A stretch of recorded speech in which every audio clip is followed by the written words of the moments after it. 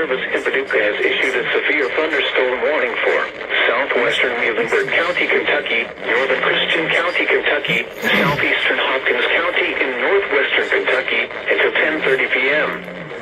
At 10.03 p.m., a severe thunderstorm was located over Cadiz, moving northeast at 85 miles per hour. Expected hazards include 60 miles per hour wind gusts and quarter-size hail. This is a threat. The following impacts are expected. Hail damage to vehicles is expected. Expect wind damage to roofs, siding, and trees.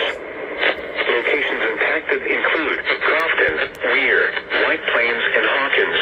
This includes the following highways. Western Kentucky Parkway between mile markers 47 and 48. Pennyrile Parkway between mile markers 14 and 29.